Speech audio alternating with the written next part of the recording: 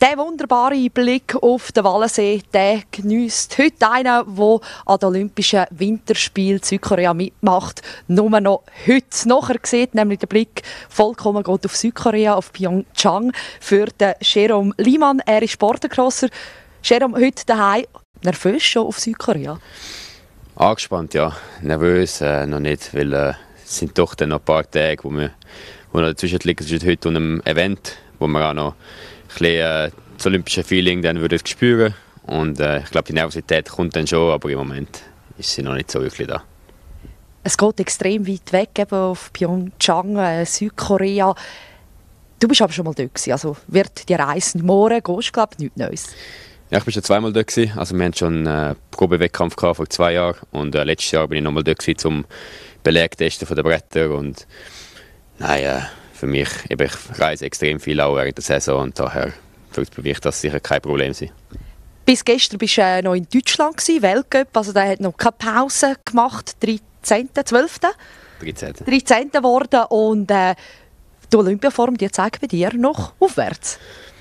Ja, glücklicherweise, ja, ich habe äh, ja, die ersten Weltcups diese Saison leider nicht so gut gehabt. Also die erste Weltcup super 11. gehabt, aber dann ist dann wieder ein bisschen bergab gegangen und jetzt bin ich froh, ist äh, direkt der letzte Weltcup oder der zweitletzte Weltcup vor Olympia so gut gegangen und es ist sicher, gibt mir auch Selbstvertrauen für die Olympiade und ja, wir werden sehen, was dabei rauskommt. Die Olympischen Winterspiele sind für dich äh, extrem knapp geworden wegen Verletzungen. Erzähl mal, was hast du gehabt, was hast du gemacht? Ich habe mir äh, vorletzte Saison äh, habe ich eine Hirnerschütterung zugezogen, habe dann leider zu früh angefangen zu trainieren, weil einfach der Ehrgeiz da war und ich habe wieder zurück auf den Schnee das war leider ein Fehler gewesen und äh, dann ist das Gleichgewichtssystem ausgefallen. Und ich habe extrem lange mit dem gekämpft.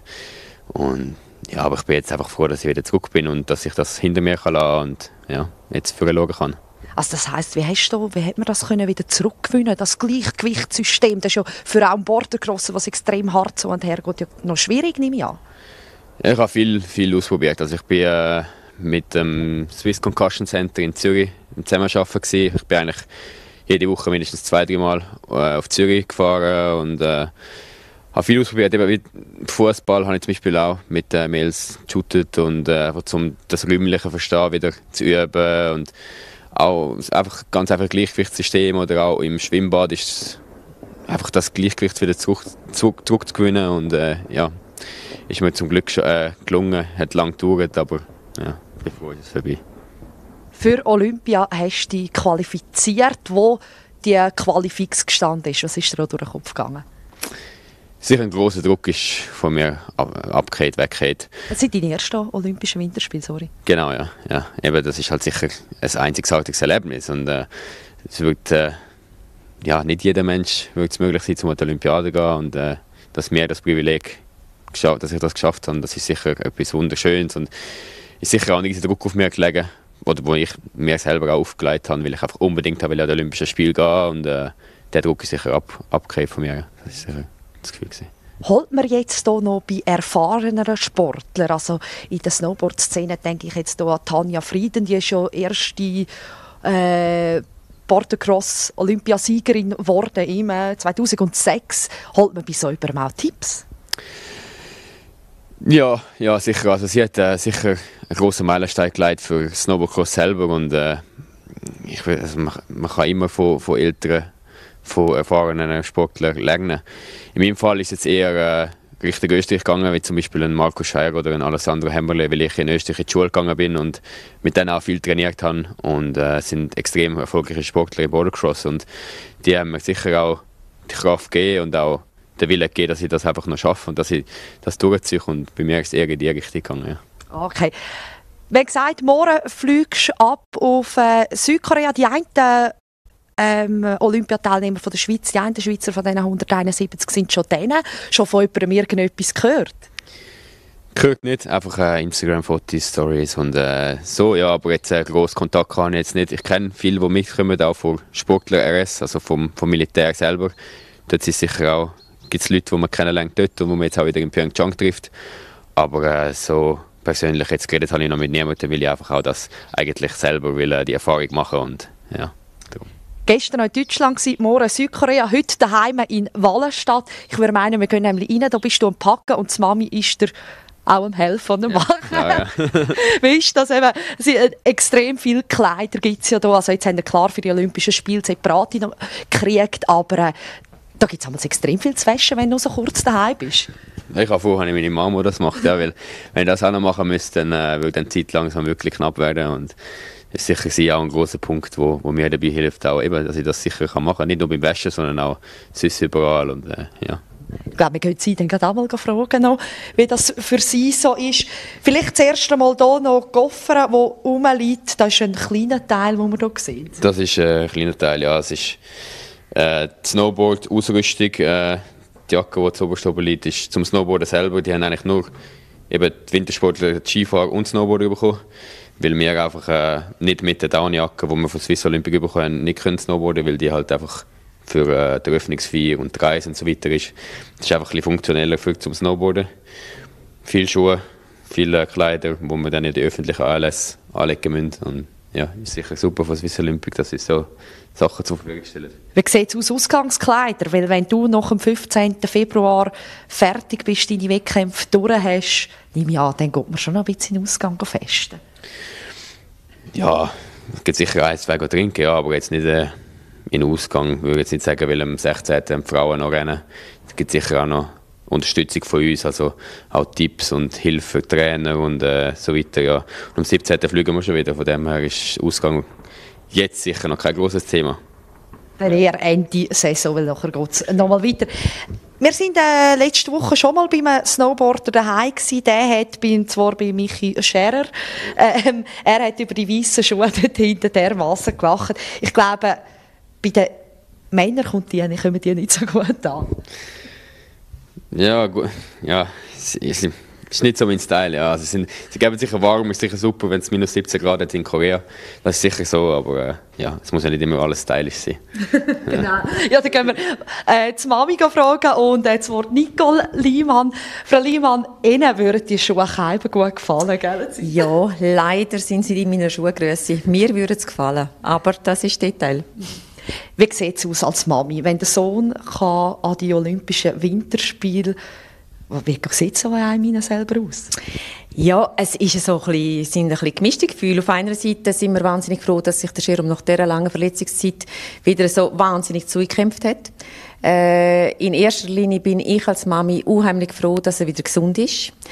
Und dann natürlich riesig stolz, dass er einer von diesen 171 Olympioniken ist. Und äh, von dem her muss ich sagen, wir freuen uns auf die Olympischen Spiele.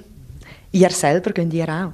Ja, wir gehen auch. Mein Mann und ich, wir haben das schon ganz, ganz lang gesagt. Also wir haben ihn eigentlich, glaube ich, hochgenommen, als er angefangen zu snowboarden, wenn du mal an die Olympischen Spiele kannst. Dann sind wir dabei. Wir haben jetzt mal nicht damit gerechnet, dass es Südkorea ist, ist jetzt halt ein bisschen weiter. Aber äh, ja, wir sind gespannt auf das Land, auf die andere neue Kultur für uns. Ich bin noch gerne dort hinten und äh, freue mich auch darauf, um das ein bisschen kennenzulernen. Ist das kompliziert so eine Reise zu buchen? Äh, wir haben das über einen offiziellen Anbieter können machen und äh, so ist es relativ gut gegangen. Was ein bisschen kompliziert worden ist, einfach durch, die, durch das, dass die Selektionen relativ spät sind. Das definitive Buchen ist dann schon auf den letzten Zacken gewesen. Wir haben einfach ein bisschen Risiko genommen. Wir haben daran geglaubt, jawohl, du schaffst das. Und aufgrund von dem haben wir den Flug und früher gebucht und Billett schon im Herbst. Also das als Zeichen auch, doch, du schaffst das. Mhm. Also, und, äh, aber zwischendurch da müsst ihr auch einen Haufen arbeiten, wenn der Schirm wieder heimkommt. Damals zwischen diesen Wettkämpfen und jetzt eben gerade vor Olympia. Gibt das damals wahnsinnig viel zu tun für die Mami? Ja, nicht mehr als aus. Wäsche gibt's ja immer. Und äh, der Jerome hat ja noch drei jüngere Brüder und die bringen mir natürlich auch immer Wäsche heim. Es konzentriert sich einfach ein bisschen aufs Wochenende, weil er kommt dann meistens am Wochenende heim und bringt mir die Ware. Also dann habe ich dann halt etwa die am Wochenende mehr Arbeit als unter der Woche. Aber ich kann mir ja die Freizeit dann unter der Woche rausnehmen.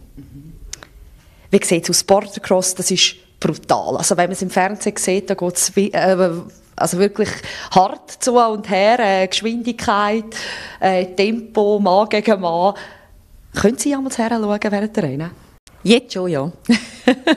es hat eine Zeit gegeben, wo ich äh, ehrlicherweise muss sagen, wo ich wahnsinnig Angst hatte. habe die Angst dann aber mit mir selber ausmachen, weil äh, ich kann die Angst natürlich nicht auf Jerome übergeben. Heute, wenn ich ihm zuschaue und sehe, wie er mit seinem äh, Arbeitsgerät, also sprich dem Snowboard, Eis ist und wie gut er das Gerät beherrscht, muss ich sagen, er kann das. Und kann heranschauen, hat Spass, es macht mir Freude, entwickle etwa mal auch ein bisschen Ehrgeiz, dass ich denke, komm, gib noch ein bisschen mehr. und äh, ja, vertrauen einfach darauf, dass es gut geht. Doch, heute geht es gut, dass ich zuschauen kann. Wunderbar, ja, hoffen wir auch, dass in Südkorea gut geht. Jetzt habe ich noch eine Frage, Scherm, dürftest du vielleicht wieder hierher kommen, wie sieht es jetzt aus heute? Noch der letzte Tag daheim, bevor es auf Südkorea geht, ist da irgendetwas Spezielles? Gibt es da vielleicht noch Kackens und Hörnchen oder irgendwie eine Schweizer Speise? Ehrlich gesagt nicht, weil ehrlich gesagt äh, gehe ich heute Abend noch Chinesisch essen. Nein! Nein, ich, äh, ich bin jetzt äh, lange unterwegs, ich bin jetzt eigentlich nie daheim gewesen.